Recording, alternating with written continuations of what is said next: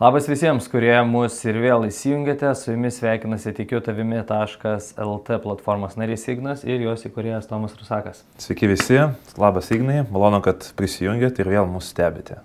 Ši laida bus antroji, pradėsiant pokalbių tematiką apie investicijas į nekilnojamą turtą. Jeigu prieš tai buvusi laida pirmoji daugiau buvo tokia pilotinė kaip įžanga, tai šiandieną nersime į gilesnius, tai pavadinkime, vandenius, kalbant apie tokias investicijas į nekilnojamą turtą, kada paskui nuperkamas turtas yra paleidžiamas į ilgalaikę nuomą. Tai.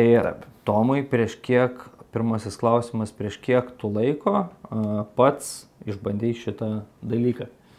Jo, tai mes teisingai pastebėjai, kad šiandien kalbėsime apie investicijas nuomai, e, ilgalaikiai nuomai, netrumpalaikiai, trumpalaikiai aš asmeniškai neinvestuoju. Tai būtent pasakosiu galbūt labiau, taip sakant, iš savo bokšto, iš savo patirties, bei taip pat biški paliesiu ir papasakosiu iš tos patirties, kurią patyrėme su klientais, kurie lygiai taip pat investavo, sėkmingai investavo ir susikūrė savo tai pasivės pajamas. Tai aš asmeniškai pirmą kartą išbandžiau tas, vat, nu, rimtesnės investicijas į nekilnojamą turtą kaip nuomai darbinant pajamas prieš tris metus. Mhm. Prieš tris metus. Galvoju apie tai, žinoma, jau seniau. Bet jau taip pagalvojau, kad reikia pabandyti, tai vad padariau tai prieš 3 metus. Ir apie tai beje esu nufilmavęs taip pat video vlogą, kur nuodugniai pasakoju nuo iki, tai už kiek buvo pirtas būtas, kas buvo su juo daryti, ten man atrodo yra apie 3 dalis. Mhm. Tai kam įdomu, galite užėti tikiu tavimi edukacijos skilti ir ten yra kaip tik pasakojama apie tos būtus, apie kuriuos mes taip pat šiandien šiek tiek pakalbėsim. Uh, tai koks buvo tas pirmasis turtas, kurį tu įsigijai ir kaip jisai atrodė? Jo, tai išsigrinau tai, kad bet kokiu atveju perkant e, naudosiu būsto paskolą, tai va trumpai papasakosiu ir apie tai. Tai buvo a, bendrabučio tipo, a, bloko, bloko tipo, ta prasme, bendrabutis. Tai yra, kada du kambariukai su e, bendru sanitariniu mazgu bei dušu, a, ta prasme, dalinasi vienu sanitariniu mazgu du būtai. E, Žirmūnuose, tai yra Vilnius, mėgamasis vienas iš Vilnius mikrorajonų. Kodėl šitas mikrorajonas? Dėl to, kad jisai yra strategiškai patogioje vietoje, netoli yra centras, senamestis ir taip pat netoli yra universitetai, kadangi pagrindinis nuomininkas tokio objekto, bet kokiu atveju yra jaunas žmogus. Tai čia strategiškai taip taikysi. Jo, nes nu, tokios investicijos jos pakankamai nėra brangios, e, tikrai galima pabandyti drąsiai jas pasinerti, išbandyti tą visą dalyką ir savo asmeniškai va, per tuos tris metus esu išsigryninęs e, būtent jau atitinkamai gal kokių 12 namų visam Vilniaus miestui, kuriuos apsimoka investuoti. Būtent vat, į tokio tipo, tai yra būsio bendrabučiai arba bendrabučio tipo namai.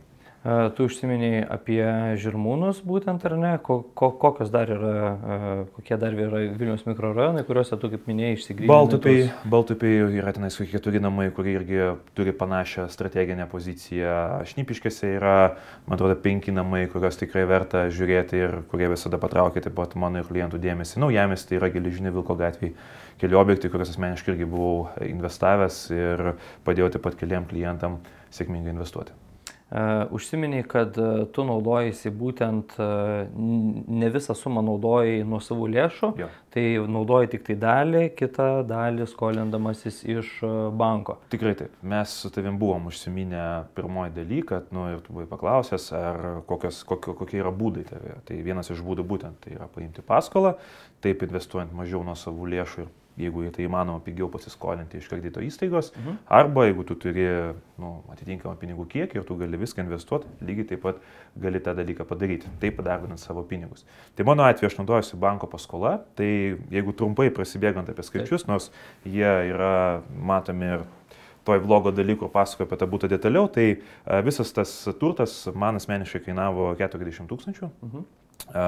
Tai buvo visiškai be remonto, nors techniškai jie buvo kaip ir atidalinti, bet dokumentaliai tai nebuvo atidalinta, atskirų sanitarinių mazgų nebuvo padaryta, atskirų virtuvių nebuvo padaryta. Tai perkant su būsto paskola, sena statyba, tai reiškia, reikia savo nuo savo lėšų 20 procentų. Tai mhm. šituo atveju 8 tūkstančius aš turėjau investuoti kaip pradinį įnašą tam, kad gauti tuos 40 ir tam, kad aš galėčiau nupirkti tą objektą. Remontas abiejų objektų pilnas, aš dabar tiksliai nepasakysiu, bet e, maždaug man gavosi apie 12 tūkstančių. Mhm. Tai reiškia, mano asmeninės lėšos jau turint pilnai paruoštą objektą a, nuomai, kainavo 20 tūkstančių. Na, nu, tai dar vertinant, čia vertinant visus do, dokumentų tvarkymą, jo. ten kaip vertinimą ir panašus dalykai. Jo, vertinimas, e, atskiros kadastrinės bylos, dokumentacijos leidimai, kadangi buvo daryti ir atskiri, atskiri įėjimai, mhm. tai laiko atžvilgiu tai užtruko, kaip pamenu, apie porą mėnesių, tai, bet mes tai darėm lygiai greičiai su remontu. Ko pasiekoje, e, tiek mes gavome du but, atskirus butus, kurie buvo išnuomoti po 300 eurų kiekvieną mėnesį. Pandemijos pirmos metu šiek tiek teko pamažinti kainą, mhm. tam, kad išlaikyti nuomininką, tai man atrodo nusileidome iki 270 ir dabar ta kaina vėl sugrįžo į tą pradinę. Tai šitie du objektai jau yra sėkmingai nuomojami kiek jau virš dviejų metų, neša tas pasyvės pajamas, puikiai save atperka. E, taip pat lygiai yra likvidus, jeigu yra noras parduoti ir taip išsigryninti pinigus, kas irgi yra labai labai svarbu.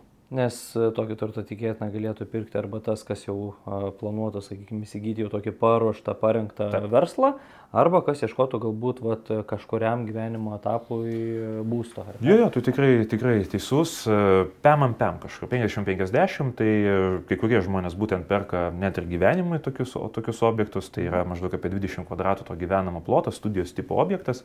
Kai kurie perka grinai kaip investicija, kaip nuoma. Dalis iš tų, kurie perka kaip investicija, ieško būtent be remonto tam, kad galėtų patys pasidaryti, jeigu žino, kaip tai padaryti. O kita dalis būtent per brokerius stengiasi surasti jau paruoštus variantus pirkimui, kur grinai perka kaip verslą. Ta prasme, nuperka ir iš karto nuomoja. O dažniausiai atveju nuperka su nuomininku. Kadangi jau keletą metų šitas turtas yra sėkmingai nuomojamas, kaip minėjai, tai kas buvo pagrindinis nuomininkas ir kaip dažnai jie keisdavosi? Iš tikrųjų, vienam objektui tai gal per tuos 2,5 kažkur tai metų pasikeitė tik tai 3 žmonės.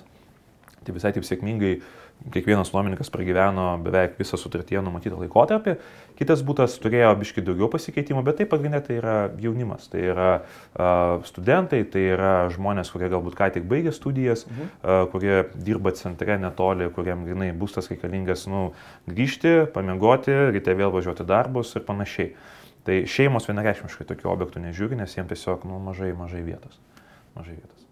Uh, ok, tvarkoju. Tai vienas, vienas iš tų konkrečių pavyzdžių. Pereikim prie, pereikim prie uh, kito pavyzdžio, kurį užsiminiai apie uh, nupirktą būstą Naujamėsėje, Geležinio Vilko gatvėje. Jo, buvau užsiminęs jo Geležinio Vilko gatvėje, labai iš tikrųjų panašus objektas, ten mes turėjome, ten jau su, su kolega investavom, tai ten mes turėjome tris objektus, tai turėjome vieną kaip vieną dalį blokę, ta prasme, kaip mhm. šito pirmojo atveju mes pirkom visą bloką, ten jau tik tai viena dalis prasidavė, mhm. prasidavė buvo pardavinėjimo, tai teko pirkti tą vieną dalį didesnę.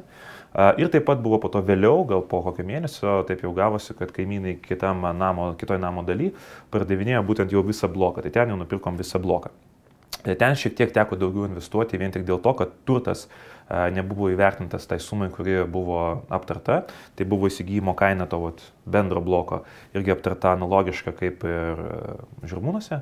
Tai yra 40 tūkstančių, bet jeigu man atmintis nemeluoja, jį vertino 36 tūkstančiais. Tai reiškia, mhm. prie pradinio įnašo 8 tūkstančių teko dar primokėti 4, nu, kadangi tą dalį jau prisiema pirkėjas. Investicijos remontą kainavo tiek pat, ta prasme, analogiškai apie 12 tūkstančių, laiko atžvilgių užtrukom apie 2 mėnesius viską pilnai sutvarkant ir lygiai taip pat sėkmingai tie objektai buvo išnuomojami, tačiau a, jie buvo nuomojami kažkur tai metus pusantrų, pakankamai neblogai, nes lokacinė pusė irgi a, labai patogi. A, lygiai taip pat nuomininkai buvo, tai yra pavieniai asmenys ir pakankamai jauni asmenys, a, bet a, eigoje mes tos objektus pardavėm kaip jau veikianti verslą. Mhm. Ir būtent įsigijo uh, tuos tris būtus žmonės, kurie irgi lygiai taip pat ieškojo, kaip įdarbinti savo pasyvės pajamas, kur jinai nupirko su tuos būtus ir paleido nuomai.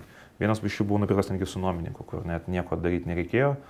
Ir iš karto vat, sumokėjai ir iš karto gauni pas jas pajamas. O tie, kurie nupirko, jie pirko jau naudodamėsi, dar naudodamėsi banko kreditu ar ten kreditų uh, vat, finansavimo, ar būtent nuo savom lėšom buvo perkama? Uh, vienas iš jų, vat, uh, tai vat, tas, ten, kur buvo pas mus tie du, du blokai, nebūtai, tai ten žmonės grinai realizavo kažkokią tai kitą turtą ir taip norėjo įdarbinti savo pinigus, o tiesiog mhm. nelaikyti sąskaitoj.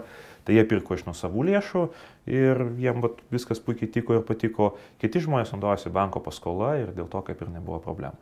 Toksai mažas niuansas, e, Kada tu pirki jau tokį objektą jau paruoštą, ta prasme, mhm. su sanitariniu mazgu, su virtuvė, su viskuo, tai tu laisvai gan gauni paskolą iš bankų, jokių problemų. Bet jeigu tu pirki dar neparuoštą, be sanitarinio mazgo, su bendrais patogumais, tai bankai gan skeptiškai žiūri tokį turtą mhm. ir nenoriai labai finansuoja. Tai tada tenka naudotis kredito unijom paslaugom. Gelsti tai, kad sumos pakankamai nėra didelės, mhm. tai nors ir palūkanos gan aukštos, tai vis tiek mėnesiniai tie mokėjimai nėra tikrai kosminiai ir net ir kredituojantis iš kredito unijos, paleidžiant tokį objektą nuomai, tau tikrai nuoma dengia visas išvadas ties nuoma, o ties, atsiprašau, palūkonom ties mokesčiais ir taip pat nemaža dalis lieka tau kaip pajamos. Tai jeigu nepaslaptis, sakykime, vadaleiskim, ar ne, va, buvo nupirktas turtas, daleiskim, blokas 40 tūkstančių, 12 tūkstančių buvo investuota į remontą, bet šiaip, va, kokie mėnesiniai mokėjimai bankam arba kredito unijom maždaug gaudavosi preliminariai? Na, nu, žinai, jeigu ten paskaičiavusius mokesčius, grubiai tariant, gaunasi jeigu dabar sakau taip grubiai, tai 140-130 eurų per mėnesį, tai čia jau e, tiek mokesčius, jeigu mes dalinam per visus metus, tiek viskas oficialiai nuomojama yra, plus automatiškai jau yra ir mėnesiniai mokėjimai kredito bendroviai. Mhm. Tai o vis tiek tu išnuomai už 300, tai nu, tau dalis bet kokiu atveju lieka ir tai yra nu, pastovios e, užtikrintos tau mėnesinės pajamos. Ir bet kokiu atveju toks turtas išlieka likvidus. Mhm. Tai jeigu tau staigiai prieikia jį realizuoti, tu nori jį parduoti, tu be problemų gali tai padaryti ir pakankamai greitai. Nes atsiranda nemaža kategorija žmonių, kuriems toks turtas tikrai taip, tinkamas. Tikrai yra. taip. Tiek e, kas ieško gyvenimui, tiek kas ieško investicijai ir kaip ir jokių problemų. Maždaug mėnesis, pusantro ir tu tą objektą gali realizuoti. Tai tas irgi labai, nu, kaip ir e, patogu yra. E, kadangi ir pirmu atveju, ir antru šitų pavyzdžių akcentuojama yra būtent tai, kad buvo nusiperkama būtai tokiuose daugiabučiuose, kuriuose yra, kurie buvę tie, tai pavadinkim, bendrabučiai, ja. ar ne, nors ja. dažnu atveju aš spėju ten jau seniausiai viskas yra privatizuota ir tų bendrų naudojimo erdvių nėra. Tikrai taip. Žmonėm neretai kyla to tokio kaip čia nuogastavimo, kad su tokiu turtu gali būti blogai, nes ten galbūt kaimynai kažkokie ten, sakykime, problematiški, ar patys ten daugiabučiai labiau apleisti. Ja. Kokia tavo praktika yra šitam? Tai Vat irgi vat, labai geras klausimas ir gerai tą, žinai, temą pasukom. Tai kad kada reikalinga buvo pagalba būtent klientam, a, kurie norėdavo investuoti vat, į tokio turtą ir tai padarant savo pinigus, tai mano pradinis patarimas tai būdavo jiems labai paprastas, kad jeigu jūs žiūrite tokį turtą, jokiais būdais e, nu, nevizualizuokit, kad jūs ten gyvensite. Jūs ten negyvensite. Jūs tiesiog turite padaryti patogų, gerą daiktą, naudotis kitam žmogui, e, taip padarbinant savo pinigus. Ir vat, e, vat, tu kaip sakai, vat, nugastauja žmonės, kad tai yra vis tiek bendrytėm buvę patogumai, galbūt nėra labai patrauklios laiptinės, tas namas vis tiek jisai nėra naujos statybos ir žmonės vis tiek nuvertina per savo prizmę ir nori kažkokio tokio biški gal šiuolaikiškesnio patogesnio, geresnio. Vėlgi galima ir tokius objektus investuoti, e, kas labai gelbsti, jeigu žmonės orientuojasi į naują statybą, mhm. tai tada, žinoma, mes galim žiūrėti nebūtinai tos centrinius rajonus, kas gelbsti vat, senos statybos atveju, bet mes galim žiūrėti ir mėgamosius rajonus. Ir tikrai mes turėjome ne vieną tokį atvejį, net ir pas, pastaraisiais metais ir per pandemijos tą visą laikotarpį jau met, metai laiko, kada žmonės sėkmingai investavo mėgamosiuose rajonuose Vilniaus miesto, taip įdarbinami savo pinigus perkant naujos statybos objektus, lygiai taip pat juos paleidžiant nuomai. Tai puikiai visas tas dalykas suveikia. Tai žinoma, tik tai ten jau įsigijimo kaštai yra žymiai didesni. Nuomos atžvilgių irgi yra labai panašu, nes jeigu mes kalbame apie vieno kambario būtus, paimkime mes kalbame apie Vilnių, tai mėgamosios rajonas kaip Išniškės, Fabioniškės, Pašilaičiai tie patys. Vieno kambario būtai maždaug kainuodavo dalinės apdailos ten apie 50 tūkstančių, ten 45 tūkstančiai. E, investicijos į remontą yra pigesnės, kadangi mes jau ateinam ir kūriam. Mums nereikia nieko greuti, taisyti, koreguoti, mes jau gaunam gatavą daiktą.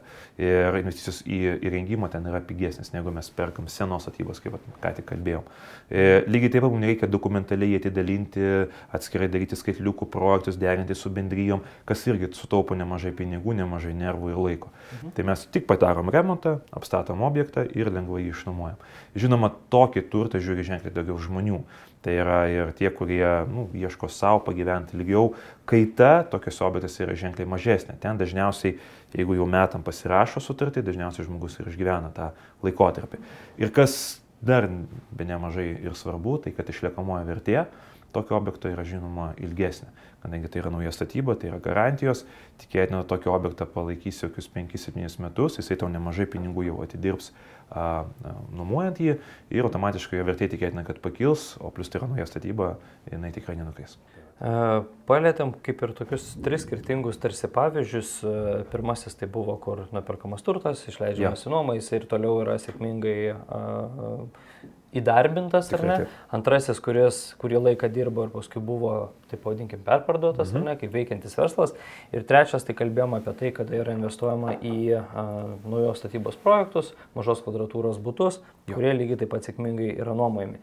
E, žmonėm, kurie, sakykime, norėtų a, ir galvotų apie investavimą tokio pobūdžio, apie kokią maždaug pinigų sumą reiktų turėti mintį ir kišenį, kad tu galėtum apie tokį dalyką galvoti. Tuo atveju, jeigu tu nori pirkti nesinaudojant būsto e, kredito e, paslaugom, jeigu tu nori pradėti vis tiek, nu, tu nepradėsi investuoti kažkokius tai, žinai, didelius projektus, vis tiek viskas yra mažai žingsnelis daroma, tai jeigu tu nesinaudoji būsto paskola, tai tau, nu, mano akimis, kaip minėjau, nukreipti kažkur 60 tūkstančių. Tai mes čia kalbam tiek apie pirkimo kainą, tiek apie e, remonto, remonto kainą.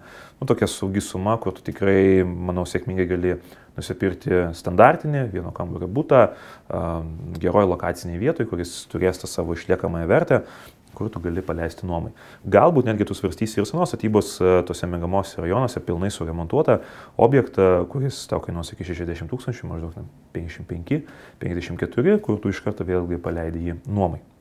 Tačiau jeigu tu naudojasi būsto paskola, suprantama, tavo tie pinigėliai, jų reikia ženkliai mažiau, mhm. tai vos ne daugiau negu dvigubai mažiau reikia. Tai tu gali, vat, kaip mano atveju ir mano klientų atveju, kurie investavo tą į pirminį pavyzdį mūsų mhm. apkalbėtą, tai reikia maždaug apie 20 tūkstančių turėti pinigėlių. Tai privalumas, žinai, jeigu mes perkam vieną objektą tam vat, blokė, ne, tai tada žinoma galbūt verta pasvarstyti. Bet žinoma, jo įsigymo kaina nėra didelė, bet yra begalės kitų aspektų, kurie įtakoja ar pirkti ar nepirkti tokį tokią, to, tokią investiciją ir investuoti tenais.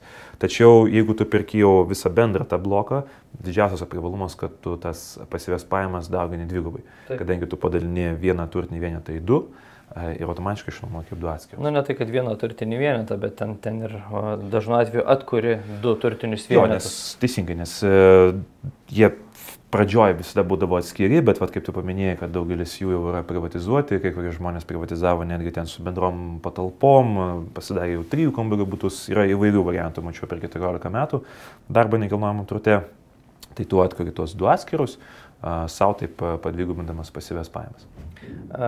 Ir pabaigai, sakykime, taip viską to, to pačiu rezimuojant, į ką reikėtų žmonėm pirmiausia atkreipti dėmesį, kokius klausimus savo reiktų atsakyti, norint į tokį dalyką iš vis lysti ir, ir bandyti kišti. Žinai, vat, gal toks pagrindinis atsakymas mano būtų, kad nu, jeigu kaina viskas sutampa, vis tiek tu turi turėti kažkokius tai savo statybininkus arba žmonės, kurie tau tikrai parekomenduos tokius, kas tau padės sukurti tą objektą.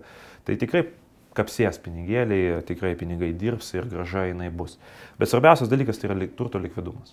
Tas nes vis tiek anksčiau ar vėliau ateina toks tas momentas, kada tau reikia judėti toliau priekį. Tikėtina, kad ta investicija, jinai ten 3-4 metus padirbo, tu ją realizuoji, tu ją perdodi kitam žmogui, kuris ar tai perka kaip veikianti verslą, ar tai perka asmeniškai savo. Tai mano toks, žinai, bendras patarimas visada pirkėjui, nesvarbu, ar jis ieško savo, ar jis ieško investicijai, tai kad turtas po tam tikro laikotarpio būtų likvidus. Tai arba mes investuojame į tą rajoną, kuris, kurio paklausa auga ir ten po penkių metų bus didesnė, automatiškai pakils vertė, arba mes tiesiog perkam objektą už geresnę kainą ir žinom, kad nu, jį pagerinus tikrai jo vertė nenukris, o dar panomavus ten 2-3 metus, automatiškai dar susigražins nemaža pinigų dalis. Tai svarbiausia tai yra turto likvidumas. Bet aš manau, kad nemažiau svarbu yra e, atkreipti dėmesį ir į tai, kas planuojama, jog bus tavo tokio turto nuomininkas, ar ne? Pagal tai galima žinoma. irgi apsibriežti tam, tikrus, e, tai tam tikras. E, lokacijas mieste, taip, taip, taip. ryšantis prie universitetų, ten daleiskim prie kažkokių kitų mokymosi įstaigų. Aš, tą buvau. Ar, ar, ar, ar ten arčiau, arčiau miesto centro, kas visą laiką žmonėms yra aktualu. Žinoma, tu vienareikšmiškai tu gali nusipirkti, žinai, atokiau nuo centro tą patį vat, mūsų pirmąją apkalbėtą variantą už labai gerą kainą tu gali padaryti jį žiauriai gražų, bet kas iš to, jeigu tu jį išnuomosi už labai mažai arba tu jo iš vis neišnuomosi. Tai jeigu jau tu pasiryžęs investuoti į senesnį ir tą pasinaudoti tuo pirmoju variantu, kur mažiau savo lėšų reikia, tai žinoma, lokacija yra labai svarbi. Lokacija tai yra pats svarbiausias dalykas, kuris įtakoja tiek nuomos kainą, kuris įtakoja lygiai taip pat tą patį pardavimo kainą likvidumo prasme. Gerai, tai ačiū tau Tomai už atsakymus į šitos visus klausimus. Brangų žiūrovai, kreipdamasis į jūs noriu pasakyti tokį dalyką, kad kaip ir visuomet, priimdami finansinius sprendimus, gerai viską apgalvokit, apsvarstykit, pasikonsultuokit su tai išmanančiai žmonėms, su žmonėm, kurie jau yra turėję tokios praktikos.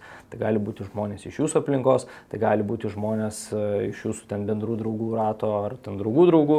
Lygiai taip pat nepamirškit, kad yra ir tokie žmonės kaip nekilnojamo turto brokeriai, kurie neretai be, besisukdami šitoje srityje yra išbandę vienokią ar kitokią metodiką.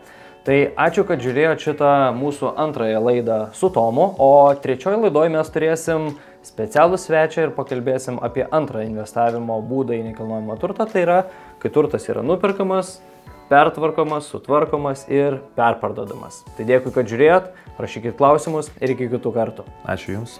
Iki.